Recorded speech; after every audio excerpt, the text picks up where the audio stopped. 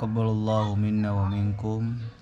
Kullu am antum bi khair. Minal aidin wal faizin. Nggak nggak nggak nggak pada ngumpul nih. Lahir dan Nggak pada ngumpul sama. Bentar lagi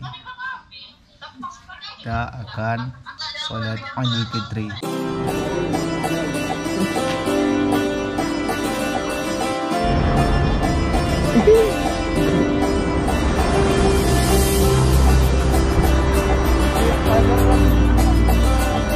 Apa? Allahu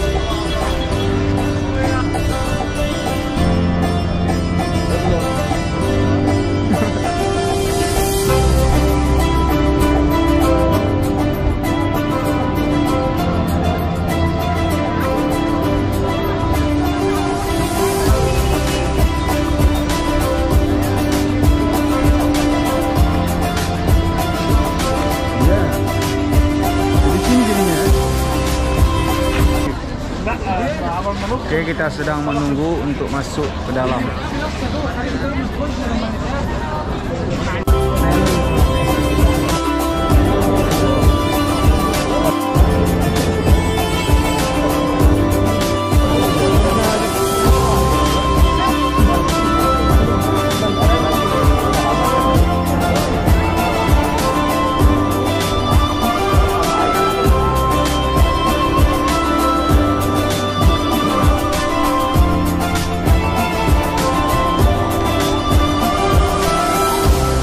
Kita udah masuk ke dalam ke dalam Masjid Sultan Hasan dan mau melaksanakan sholat Idul Fitri di Masjid Sultan Hasan. Inilah situasi tempatnya dan uh, dan rame lah orang yang masuk ke sini. Ini kita mau, masuk ke dalam.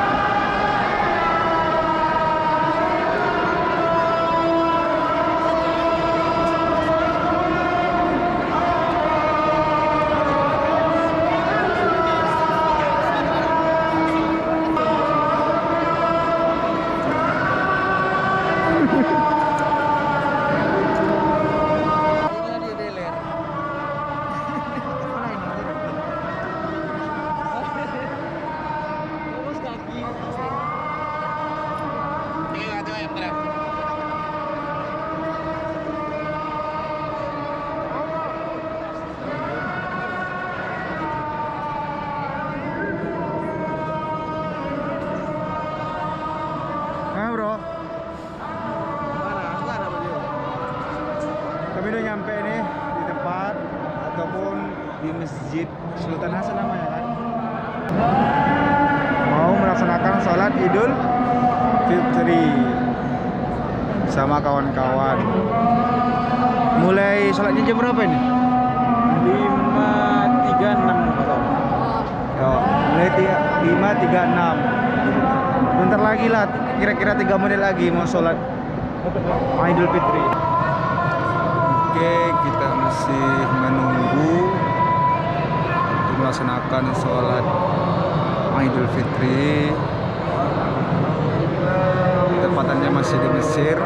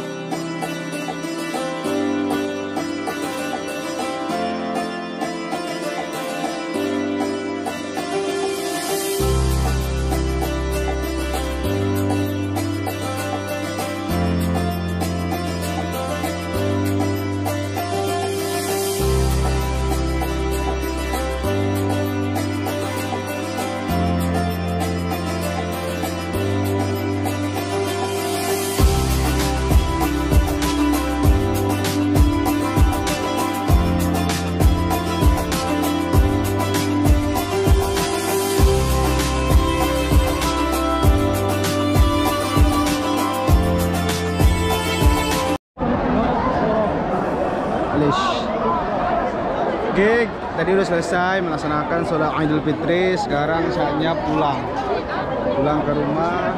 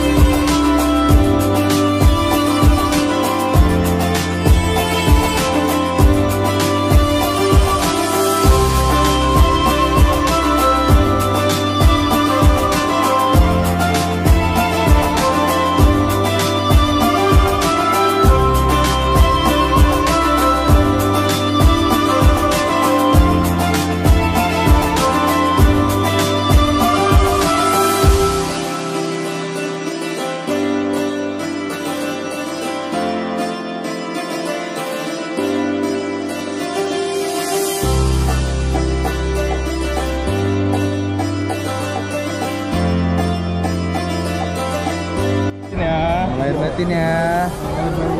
banyak kamu lain. Hai, astaga. Hai. Banyak gimana nih? Kok La la la la la la la. Oh, tidur ada tidur ya ngantuk ya, ngantuk ngantuk. Ngantuk kena angin ya.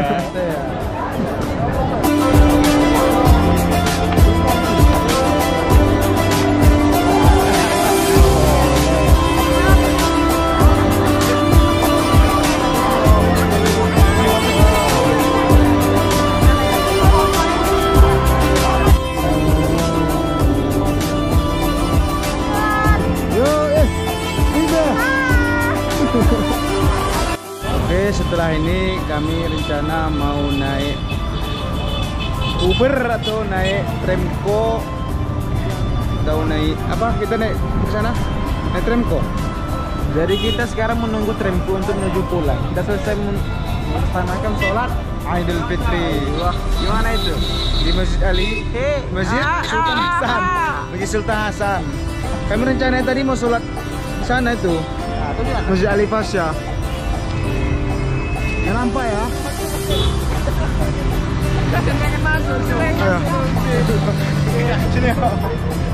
Eh kan kita tadi rencana mau sholat situ kan? Tadi sebenarnya mau sholat di masjid sekolah, cuman cuma? karena ada corona kan, jadi Ah. dialihkan ke gimana? Apa itu? Sekarang ini. Apakah anda rindu orang tua karena nggak nggak bisa merayakan. Ya kalau dibilang. Biasanya kan di Indo merayakan Idul Fitri itu bersama orang tua dan makan-makan bersama. Kalau Gimana di- perasaan anda? Hari raya di negeri orang. Nah, sebenarnya kalau dalam lubuk hati paling dalam ya rindu sekali lah kalau akan hari raya di Indo bersama keluarga. Cuman karena kita kan di sini berjihad, tolabul ilmi, ya kita harus sabar lah. Insya Allah Ikhlas lah, ah, ada lah. setelah kepahitan. mantap makasih Ustaz ya. Nasihatnya. Nasihat dari mana? Jadi gimana perasaan antum? apa tuh? Kan kita udah lama kali di Mesir ini kan tidak pulang, tidak merantau ke rumah, tidak berjumpa keluarga, tidak menemukan momen-momen yang spesial setelah sholat id yang berkunjung ke rumah saudara, ke rumah teman, tuh maaf-maafan gimana pada antum? Sebenarnya sampai sekarang di dalam hati juga ada agak merasa ada yang kurang karena tidak ada kehadiran tua saudara abang adik kan tetapi di Tapi tempat ini gitu. Nah, tapi di tempat ini aku menemukan saudara yang baru yang mengisi hati, mengisi jiwa raga dan sehingga aku terhibur di sini. Ini isolatan jadi nasihat tuh uh, viewer ya. Maksudnya supaya nanti untuk orang yang berat perasaan perasaan antum gitu kan. Udah beberapa tahun antum di Mesir tidak pulang ke rumah, tidak menemukan momen spesial. Kalau biasanya kan kalau di Indo kita kan setelah hari raya kan salam-salaman berkunjung ke rumah saudara minta maaf. Sekarang tidak ada. Gimana perasaan antum? Biasa aja. Dere dere dere dere. Apa perasaanmu hari raya di Mesir? Sebelumnya kan kalau kamu kan di dua tahun belakangan kan Lebaran bersama keluarga, salam-salaman setelah sholat id kan. Itu gimana perasaanmu hari raya di Mesir? Tuh, yang ketiga kali apa kedua kali tuh? dua kali. Dua kali gimana perasaan? Coba di diungkapkan perasaan antum kepada view-view ini. Jadi kita sebagai anak perantauan, Siap. mana kita tidak jauh dari kata sedih. Karena sebetulnya itu Idul Fitri itu harus kita berkumpul dengan keluarga, Iya. sanak saudara. Tapi dengan niat yang tulus. Dan tolabul ilmi. Kita harus merelakan resiko. Tapi ada pepatah katanya tidak ada kenikmatan setelah kepahitan. Maka di sinilah kita merasakan pahitnya dulu, di mana kita merantau jauh akan rindu dari orang tua. Ada pepatah mengatakan, Oke, patah lagi banyak nih. Oke, boleh. Ahlan. berenang-berenang ke hulu, Berenang-renang ke hulu. Berakit berakit-rakit ke hulu, berenang ke tepian. Maksud Sakit-sakit dahulu. saksi kita dulu. baru kita menamakan suksesan kemudian Coba bisa antum tafsirkan apa maksud dari filosofi atau kata-kata mutiara yang antum bilang dari itu. Coba bisa jelaskan kepada piu-piu ini. kita berpahit dalam menuntut ilmu kita jauh dari sana saudara Kita merasakan sedih gitu ya. di mana hari ini orang di Indonesia itu berkumpul kita dengan kawan-kawan seperantau Pak. itu namanya kepahitan tapi pahit itu akan jadi manis di suatu kelak nanti Akan indah pada waktunya ya. akan indah pada waktunya nyanyi bro Semua akan indah pada waktunya. Itulah ah, tanggapan atau ucapan dari teman-teman kita yang udah bertahun-tahun tidak pulang ke Indo. Terima kasih. sekian kami dari Kairo Mesir Ah, Ucapkan. Doakan kami semoga lancar kuliah di sini dan uh, minal aidin wal faizin mohon maaf lahir dan batin.